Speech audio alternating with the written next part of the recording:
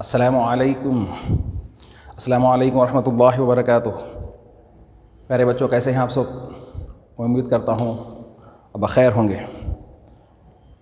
अल्हम्दुलिल्लाह, अल्लाह आपको ऐसे ही खुश व आबाद रखे, हमेशा सरफराज रखे। आपके वालदेन का साया, अल्लाह देर तक क़ायम रखे। अल्लाह सुबहान ताली आपसे राज़ी हो जाए और अपनी हिफ्ज़ अमान में रखे। ज़मीनी फ़ितनों से, आसमानी बलाओं से अल्लाह आपकी हिफाजत फरमाए।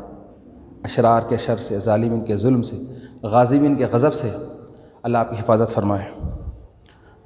अल्लाह आपके वालदेन के इज़्ज़त में, माल में, सेहत में तरक्की अता फरमाए। बेटे, चलिए, कल हम जो है लास्ट क्लास में जो है शाबुन नबील का एनोटेशन तक करे थे। आज हम उसके क्वेश्चन आंसर्स करेंगे। ये दो सेक्शंस हैं। एक जो है शॉर्ट आंसर्स और दूसरा है one word answers seven section poetry के short question answer eight prose के short question answers nine prose सुरास के जो है ना वन वर्ड क्वेश्चन आंसर्स और सेक्शन नंबर टेन जो है वन वर्ड क्वेश्चन आंसर्स तो ये आज जो है ना हम शॉर्ट क्वेश्चन आंसर्स करेंगे। और फ़िक्र से आपको, आप पढ़े थे शाबुल नबील के बारे में। मैं चंद बातें उसमें बताता हूँ। कैफ़ा अखलाकुल फति, फ़तन। वो जो नौजवान था, उसके अखलाक कैसे थे? उसका कैरेक्टर कैसे थे? उसका नेचर कैसा था? वो किस तबीयत का मालिक था? जो पोएम है, अना फ़तन अमीन, ली खुलकुन वदीन तो आपको बताना था कि उसके कैसे हाओ कैफ़ा के माने हाओ कैसे थे। तो अखलाक़न फ़तन तयब अच्छा था साहब गुड अब देखिए, आपके टीसी वगैरह पे लिखा जाता है। टीसी जब लेते हैं तो सेटिस्फैक्ट्री गुड इस तरह से लिखते हैं। यानी आप अच्छे नेचर के मालिक हैं। उससे आपको खाली वो देखते ही एडमिशन मिल जाता। इसी तरह से कई भी आप सकते होंगे, किसी लड़की के रिश्ते के लिए लड़के को इंतखब किया जाता है तो सबसे पहले पूछा जाता है कि उसका नेचर कैसा है? वो कैसा आदमी? जब ये मालूम हो लगा बहुत अच्छा है साहब, बस ख़त्म। बाद में मुलाजिमत का, नौकरी का कितना कमाते, क्या करते, कहाँ रहते, कितने भाई है, बहन, सबसे पहला मामला, नेचर कैसा है? और एक अच्छी बात आज की, कि आपको मालूम करना है कि कोई कैसा है। तो आसान तरीक़ा है उसके दोस्त कैसे हैं? दोस्त कैसे हैं ये देखना साहब। क्योंकि उनके जो असरात हैं, वो आदमी पे आते हैं। उनके उठना, बैठना किन लोगों में है? तो किसी की दरियाफ्ती के लिए कि अगर जा रहे हैं तो बताया गया कि पहले जाके उसको मस्जिद में ढूंढो। मौजन साहब से, इमाम साहब से पूछो, अरे, फला लड़का कैसा है? मालूम हो जाता उन नमाज़ को आते, नेक है साहब, बड़े अच्छे आदमी फ़ौर मौजन साहब और इमाम साहब से मालूम हो जाता फिर बोले, वहाँ नहीं मिल रहा। तो पान के डब्बे पे, होटल पे, चाय पीने को आते क्या, सिगरेट पीने को आते क्या? एक बताने का तरीक़ा है कि वहाँ कैसे लोग हैं? मालूम हो जाता आपको, मस्जिद में कैसे लोग आते हैं? पान के डब्बे पे, होटल में कैसे लोग आते हैं? आप ख़ुद उससे एनालिसिस कर सकते हैं। चलिए साहब, माहिया खैरगरसी फ़िलशुदा इस पोयम में जो है ना, आपको किस बात की तरफ़ रगबत दिलाई गई? क्या चीज़ बताई गई है? क्या करना साहब इस, इसमें बात? माहिया खैरगर्स सबसे बेहतरीन जो मामला है, बेहतरीन मामला क्या है? सबसे अच्छी चीज़ क्या है सर अब आमतौर से हम ये सोचते हैं कि चॉकलेट सबसे अच्छा है, मम्मी सबसे अच्छी हैं, पापा सबसे अच्छे हैं। बेहतरीन पौधा क्या है जो आपको बताया गया था? खैरगर्स तो बदले बताया गया है कि आपके बाबा के पास से जो जो चीज़ें आपको मिली। घर, कपड़े, पैसे, सोना, गाड़ी, ये, वो, तमाम चीज़ें, भाई, बहन, ये, इन तमाम चीज़ों में सबसे बेहतरीन चीज़ है इल्म। आपके बाबा के पास से आपको जो सबसे बेहतरीन चीज़ मिली वो है इल्म। ये याद रख लीजिए। अल इल्म खैर खर्स फ़िलशुदा ये इस पोयम में इल्म के बारे में बताया गया। कि एक अच्छा तालब इल्म कब होगा? और एक अच्छा आदमी कब बनेगा? उन्हें पोलाइट कब बनेगा? उन्हें ऑनेस्ट कब बनेगा? उन्हें बुरदुबार कब बनेगा? उन्हें बासलीखा कब बनेगा? उसके पास इल्म रहा तो। जिसके पास इल्म रहता, उन्हें आजीज़ी व इनके सारी उसका शेवा रहता। दरगुजर करना उसकी आदत होती। ये इल्म क्या करता है? आदमी को पोलाइट बनाता है। और आप देखे होंगे कि आम का झाड़, जब उसको जिस डाली पे आम ज़्यादा लगते हैं, अम्मी बाबा वगैरह बताते हैं, हम तो जो है बाज़ार से आम खरीद के खाए, झाड़ से तोड़ के खाने का इतफाक़ नहीं हुआ, लेकिन बताया गया है कि जिस डाली पे आम लगते हैं कैरी लगे वो झुक जाती है। तो जिस डाली पे आम ज़्यादा लगा, वो झुक गई वज़न से। आधा किलो, एक एक किलो का भी आम होता है वो डाली क्या करती है? झुक जाती है। तो क्या करते हैं? डाली को काट देते हैं। ज़्यादा आम लग गए इसको बोल नहीं नहीं, वो आमों को तोड़ लेते हैं, वो कैरियों को तोड़ लेते हैं। और देखो साहब, और उसको फुर, फिल फोर, उसे इस्तेफादा भी कर सकते हैं। तो जिसके पास जितना इल्म होता है, वो उतना ज़्यादा झुक जाता है, उसके अंदर पोलाइटनेस आ जाता है। उसकी बात करने से तरीके से मालूम होता है कि नहीं, इसके इस कैसे होंगे? ये किन की सहबत में रह के आया है? समझ में आया? अब उसके बरखिलाफ़, इसके अपोजिट में, जिसके पास कम नॉलेज होती है जिसके पास कम नॉलेज होती है, उसके पास पुकारा बहुत होता है। जैसा खाली घड़ा, बताया गया है। एम टी मच नॉइस कुछ इस तरह से बोलते हैं ना आप लोग। कि जैसे घड़ा घड़ा बहुत आवाज़ करता है। तो इस तरह से आप देखो, वो गेहूँ का भुट्टा, जवारी का भुट्टा भुट्टा कहते हैं वो जिस पे दाने लगते हैं। हम भुट्टा भी जो खाते हैं ना, जिस पे चंद दाने होते हैं तो वो क्या होता है? सीधा खड़ा हो जाता है। खड़ा होकर जो है ना, अपने आप को बहुत उछलता था मेरे पास इतना गुस्सा है, मेरे पास इतना नॉलेज है, ऐसा है बोल। तो क्या करते हैं उसके? उसके दाने तोड़ लेते नहीं तोड़ते, बल्कि उसको नीचे से काट देते नीचे से काट के डायरेक्ट खा लेते, फिर नहीं साहब फिर उसको क्या करते हैं मालूम है? पहले बैलों से खुंदलाते थे। गाड़ियाँ आज भी मैं देखता हूँ कहीं आउट ऑफ़ आप जा रहे हैं तो बास लोग जो है ना, वो भुट्टे रोड पे डाल देते हैं। तो रोड पे गाड़ियाँ चलने से वो भुट्टे उसमें से दाने निकल जाते हैं। फिर उसको ला के पछोड़ते हैं। अब आजकल क्या कर रहे हैं? मशीन में डाल रहे हैं। मशीन में डाल के वो दाने निकाल ले रहे हैं। फिर वो दाने को निकाल के क्या करते हैं साहब? फिर उसको गिरनी में पीसते हैं। उसका आटा बना देते पाउडर कर देते उसका। फिर उसके बाद क्या करते हैं उसको? आप अम्मी को देखे होंगे, आटा भिगाते हुए। बड़ी मेहनत और मशक्क़त करना पड़ता है। आटा भिगाने से नॉट ए जोक रोटी आपके सामने जो आ जा रही है, खाली आप यूँ लिए खा लिए कैसी है बोल रहे हैं आप। मगर उसकी मेहनत देखो, कितनी लगती है, मम्मी से पूछो। उसको करना। फिर उसके बाद क्या करना? उसको बेलना। फिर उसके बाद क्या करना? उसको गरम गरम तवे पे डालना। फिर उसके बाद उसको पकाना, जलाना वाट फिर उसके बाद आपके मुँह तक आती है। बस समझ में आ गई? तो कम नॉलेज रहने पर इतने मसाइल होते हैं। इसलिए मेरे बच्चों मिनिमाइज आप अगर मेरे स्टूडेंट हैं तो पोस्ट ग्रेजुएट तो होना। पोस्ट ग्रेजुएशन से पहले नहीं रुकना। अब तक आपका इंटर है ये। ये इंटर के तो कोई बीच में वो कोई पूछते नहीं, कहाँ तक पढ़े हुए इंटर बोल? डिग्री से आपका मामला शुरू होता। आप बेसिमिट में हैं अभी। डिग्री से ऊपर आता है आप। जैसा कि आपकी दीवार है। ये दीवार के नीचे पत्थरे हैं कॉन्क्रीट है, अगर आरसीसी का है तो स्टील सब नीचे है। मगर वो नज़र नहीं आ रही। अब ये जो पिलर्स ऊपर रेस हो रहे हैं, ये बिल्डिंग नज़र आती। तो इसी तरह से इंटर स्टार्ट अब यहाँ से अब ज़मीन के बराबर हो गए अब आप। अब यहाँ से ऊपर उठना है। डिग्री करेंगे पीजी करेंगे एम करेंगे पीएचडी करेंगे आप। ऊपर तक जाएँगे। तो जब आपको दुनिया को नज़र आएँगे, बुर्ज खलीफा है ये बोल के बहरहाल ये याद रख लीजिए। इल्म। हल खुल तयब बेफजल उम्मी भी अब आप अगर सुन रहे हैं, किसी की बात सुन रहे हैं, कोई बहुत अच्छी बात बोल रहे हैं, बहुत अच्छे कोई मुखर्र है हुँ? हम्म? आपके बाबा है, बाबा से आप बात कर रहे हैं, अरे बाबा कितनी अच्छी बात करते हैं हमारे घर तो ये जो बाबा आपकी अच्छी बात कर रहे हैं, इसमें बाबा का कुछ भी एडवांटेज नहीं है ये बाबा के अम्मी और बाबा का एडवांटेज है उनका बेनिफिट्स है इनको कि बाबा के अंदर जो आपके अखलाक हैं, ये आपके दादी माँ और दादा बा के दिए हुए हैं आपके बाबा को बार बार, आपकी अम्मी ये बहुत अच्छी बात करती हैं। इतनी प्यारी बात करती हैं कि मुँह से शहद झड़ते हैं, फूल झड़ते हैं। ये आप देख रहे हैं तो बोलना, अरे, ये अम्मी की, अम्मी जो इस तरह से हमारे से हम कलाम है, इसके पीछे किसका मामला है? हमारे नानी अम्मी की बात है। हमारे नाना अब्बा हमारे अम्मी की पॉलिश करें। जिसकी वजह से अम्मी से बात करें तो हमारे को ऐसा मालूम होता ही नहीं कि हम किसी अजनबी से बात कर रहे हैं। इतनी प्यारी बात, मेरी माँ से अच्छी तो कोई दुनिया में कोई औरत ही नहीं। मेरे बाबा से अच्छा तो दुनिया में कोई आदमी नहीं। जो बातें मेरे को अपनी माँ से मिली, दुनिया में किसी से नहीं मिली, वो जो है ना एक रोल मॉडल आपका हीरो आपके बाबा, आपकी अम्मी, जिनको आप जो है ना फॉलो कर सकते अरे, इतने अच्छे अखलाक। ये याद रख लीजिए। तो यहाँ पर भी वही बता रहे हैं, हलील खुल्क तयबन बिफजली उम्मी व अभी जितने अच्छे अखलाक आप मेरे में दिख रहे हैं, क्या ये मेरे माँ बाप की मेहरबानी? हाँ हाँ ज़रूर ज़रूर एक हज़ार मरतबा ने एक करोड़ मरतबा मैं ये कहूँगा कि मेरा मुझमें कुछ नहीं। ये मेरे माँ और बाप का फ़ज़ल है।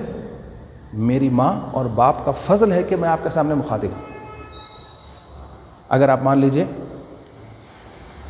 समझाने के लिए बोल रहा हूँ, आपको ख्याल नहीं करना कि अगर आप बोल रहे मुल साहब बहुत अच्छे हैं तो मुल साहब की जो अच्छाई है, उसको अगर आप नंबर देंगे तो क्या नंबर देंगे?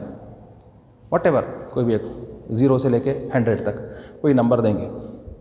तो मान लीजिए अगर आप मेरे को दे दिए हंड्रेड मार्क्स हंड्रेड नंबर दिए, लेकिन आपको मैं बताऊँ कि ये जो आप मेरे को हंड्रेड दिए हैं, ये मेरे माँ बाप की नेकियों में से zero point zero zero zero zero one percent है ये जो आप मेरे को दे रहे हैं। तो अब आप ये तस्वुर करिए, मेरी अम्मी जान और बाबा कैसे रहे होंगे?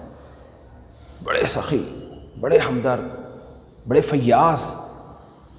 हमारे घर में दस्तखान नहीं रुकता था। जो आया बग़ैर खाए के नहीं जाना, रूल। और बहुत ही शफ़क़त से, मोहब्बत से मिलते थे। अगर कोई किसी चीज़ की तरफ़ मुस्कुरा के देख ले तो उसको अता कर देते थे। अगर कोई अम्मी को बोलते, क्या बहुत अच्छी दिख रही है साड़ी आपको माशाल्लाह, बहुत अच्छा दिख रहे हो अम्मी क्या करते थे? वो निकाल के उनको दे देना तोहफ़ता घर में है तो खिलाना पिलाना, अगर कोई आके बोले, भाई, बच्ची की शादी है। वैसे जो बेहतर हो सकता है उसके लिए। कोई फर्नीचर दिला दिए, कुछ वॉशिंग मशीन दिला दिए या कोई और इस तरह से घर की कोई ज़रूरत का सामान दिला दिए या घर में से जो है बेहतरीन साड़ी है दे डाले निकाल के कतान की साड़ी भैया लिया आपकी बच्ची के, उसमें डाल लो। बहरहाल वॉट तो ऐसा इतना ज़्यादा करते थे अम्मी, मैं आपके सामने क्या अर्ज़ करूँ कि मेरे को शर्म आती थी। मैं ये बोलता था, क्या मैं नहीं हूँ आपके से मेरे को छोड़ के दूसरों के से तक एक करता तो मेरी वालदा के अल्फाज थे कि, बेटे, ये मैं मेरे वास्ते नहीं, मैं तुम्हारे वास्ते कर रही हूँ। अगर मैं दूसरों को चाहूँगी तो अल्लाह सुबहाना ताली तुम्हारे को दूसरे चाहने वाले मिलेंगे। दूसरे चाहने वाले मिलेंगे। और आप यकीन मानिए कि मेरे जो दोस्त चंद हैं, मैं उनके मदर को कभी आंटी बोल के नहीं पुकारा। मेरे को जो है वो मेरे को दोस्त से ज़्यादा मेरा भाई नज़र आता था। तो मैं उसको माँ ही कह के पुकारा और मेरे को मोहब्बत वहाँ से वैसी ही मिली जैसे कि उनके, मेरे दोस्त को मिलती थी। तो मेरे बेटे से बोलते थे, मेरे बेटे के बराबर मेरे चार नहीं, पाँच बेटे हैं बोलते थे। अलहमदिल्ला तो ये ये जो आपका नेचर है आपके अच्छे अखलाक हैं ये आपकी माँ की मेहरबानी से। हल तखदुल हिफ्ज़ दरसी। क्या आप कल का सबक जल्दी याद कर लेते हैं? हल से देखो हम आपको बारहा बताया। हल से अगर सवाल आया तो उसका जवाब नाम से देना है। नाम अखदूल हिफ्ज़ दरती हाँ हम सब जो है आ, कल का सबक जल्दी याद कर लेते हैं। बी आई शैन यूहसिलमजद हाउ डज़ ग्लोरी हैपन आप जो है ना कैसा हसूल बड़े मुकाम को पा सकते हैं। हम्म? युहसलमजदी बहिम्मती व जिद आप अपनी सख्त मेहनत और कोशिश से बड़े मुकाम को पा सकते हैं। आप अगर चाहें तो जो चाहे कर सकते हैं। इसका इज़ द लिमिट आप ये मत सोचिए कि मैं यहाँ हूँ, मैं तीच हूँ, मैं ऐसी हूँ, मैं ऐसी हूँ, मैं काली हूँ, मैं गोरी हूँ, मैं ऐसी हूँ, मैं, मेरा दिमाग ऐसा है, मैं इतना नहीं पढ़ सकती। नहीं साहब, जिस वक्त आपकी ठान ले, मैं कर सकती। बस आप निकल जा सकते इसका इज़ द लिमिट आप कहाँ तक जा सकते हैं, आपको उसका अंदाज़ा नहीं। चलिए चलिए। तो मेरे बच्चों, खूब मेहनत करो। चलिए, आइए। ये क्वेश्चन आंसर हम, जो अभी जिसका कुछ मुख्तसर सा हम तुला खासा करें, आज हम पहले उसको लिखेंगे, फिर उसके बाद उसको पढ़ लेंगे भी, ताकि आपको अच्छी तरीके से ये याद हो जाए। इसको लिखना बेटे, देखो, आठ छः मार्क्स का क्वेश्चन है ये। अगर आप नहीं पढ़ेंगे तो फिर आपके छः मार्क्स गए। अब छः मार्क्स होना नहीं होना? यस वेरी गुड चलिए साहब। इसका क्वेश्चंस अच्छी तरीके से देख लीजिए।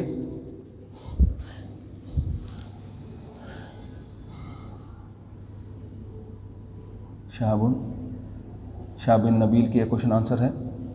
क्वेश्चन नंबर वन क्या है सब क्वेश्चन कैफ अखलाकुल फतन अखलाक फ़तन लड़के के अखलाक कैसे हैं कैसे हैं साहब देखिए साहब अखलाक़ुलफ़तन तय्यब कैसा लिख रहे हैं कहाँ से स्टार्ट कर रहे हैं देखिए साहब अखलाकुल लड़के के अखलाक कैसे हैं साहब तय्यब गुड बहुत अच्छे अखलाक वाला है साहब कैसा पहचाने आप उसके अखलाक? बता दिए हम आपको, कैसा पहचानना?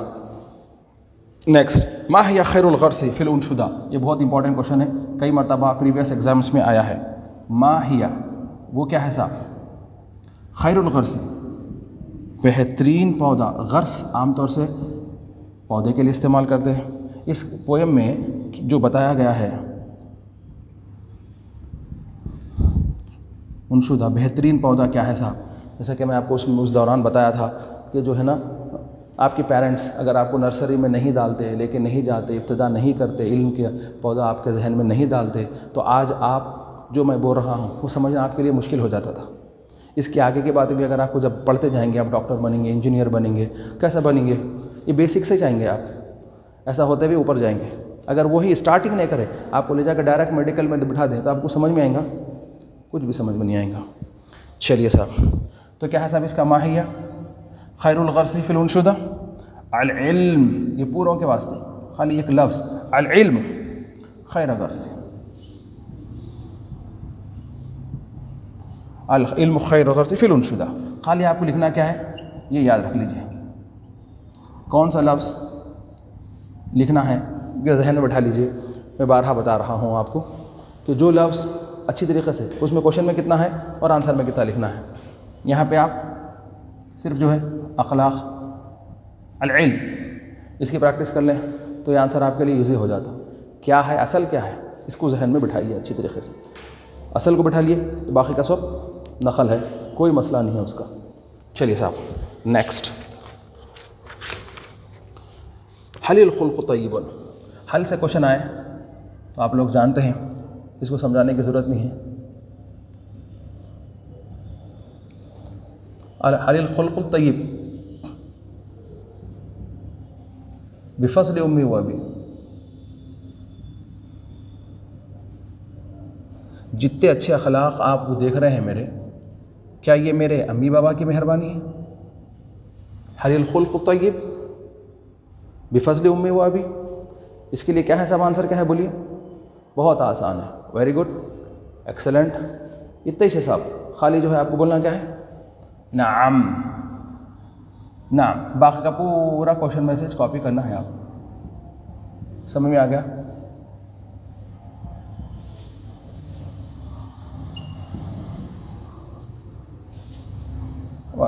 मेरे अम्मी और बाबा की मेहरबानी है ये।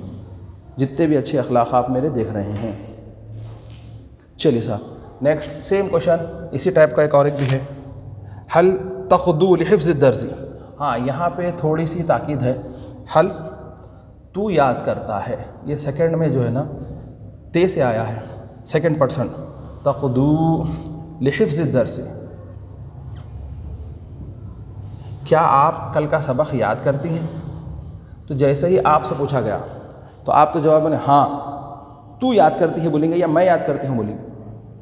अब बोलेंगे, मैं बोलूँगी मुझसे आप कहीं को कि आप, जब मैं बोल रहा हूँ तो मैं फ़र्स्ट पर्सन आप सुन रहे हैं, आप सेकंड पर्सन जब आप बोलेंगे, आप फ़र्स्ट पर्सन मैं सेकंड पर्सन तो ये जो वर्ड है, तकदू, इसमें ते से शुरू होता है, इसको जो है ना, अलीफ से लिखना। या फ़र्स्ट पर्सन हो जाता अकदू, लहफ्ज़ दर्स। अकदू यानी मैं। हाँ साहब, मैं याद करते हैं तकदू का अकदू। सेकंड पर्सन फ़र्स्ट पर्सन आप याद करते हैं, मैं याद करते हूँ। लास्ट एंड फाइनल क्वेश्चन इसमें से। भी आई शयीन कौन सी चीज़ से? बी आई कौन सी बी आई शयीन यह हसलमजद क्या चीज़ हासिल करने से बुज़ुर्गी हासिल होती है? बुज़ुर्गी से मुराद सिर्फ़ वाइट वाला ही नहीं है, या जो है ना, बूढ़ा, बूढ़े होना ही नहीं है। आपके पास नॉलेज से आप बुज़ुर्ग हो जाते हैं। बेआई शैन यहसलमजद क्या चीज़ से आपके अंदर बुज़ुर्ग आएँगे साहब? आप जो है ना सुपीरियर हो जाएँगे। आप बताया गया है यहसलमजद क्या करना आप? तो बोले यहसलमजद देखिए, फेल से शुरू करेंगे। इसके लिए जो है आपको सख्त मेहनत करनी पड़ेगी। यहसलमजद बेहिम्मतिम व जिद, हिम्मत और कोशिश से आप जो है बुलंद मुकाम हासिल कर सकते हैं, बुज़ुर्गी हासिल कर सकते हैं, टॉप आ सकते हैं, कलेक्टर बन सकते हैं, कमिश्नर बन सकते हैं। सुप्रीम कोर्ट के जज बन सकते हैं। समझ आ गया ना? यहसलमजदी बेहिम्मति व जिद। व जिद। ये याद रख लीजिए। ये छः जो है हमारे क्वेश्चन आंसर्स सेक्शन नंबर जो है ना सेवन में आएँगे ये। इसको अच्छी तरीके से बगौर बगौर बगौर बगौर बगौर देख लीजिए। ये जो है ना क्वेश्चन आंसर्स में सेक्शन नंबर सेवन में two into three six marks answer in two of the following in Arabic इसका जो टॉपिक रहेगा answer in two of the following in Arabic section number seven में आएँगे ये क्वेश्चन आंसर्स पोइट्री के इसको अच्छी तरीके से देख लो इसको लिखने की प्रैक्टिस करो मैं बारहा बता दे रहा हूँ आपको फिर एक बार बता रहा हूँ देखो यहाँ पे क्या चीज़ आगे साहब अखलाक यहाँ पे सिर्फ़ आपको लिखना है नाम यहाँ भी नाम बिहिम्मत वजिद ये इतनी प्रैक्टिस आप कर लें तो जो है ना आपको ये पूरे के पूरे पाँच आंसर लिखने आ जाएँगे। समझ के लिखे तो पूरे मार्क्स मिलेंगे। गलत लिखे तो पूरे मार्क्स कट हो जाएँगे। आपको इसका कुछ भी मामला नहीं मिलेगा। कुछ मार्क्स नहीं मिलेंगे। मेहनत कर लेंगे, बेहतर है। नहीं करेंगे तो फिर से इम्प्रूवमेंट लिखना पड़ेगा। समझ में आ गया? चलिए साहब, लिख लीजिए इसको अच्छी तरीके से। इन ताला इसके अंदर जो है वन वर्ड आंसर भी है। इन ताला हम इसके वन वर्ड आंसर भी लिखने की कोशिश करेंगे। पहले इसको फ़ारिग हो जाइए। असल वरहमल वर्का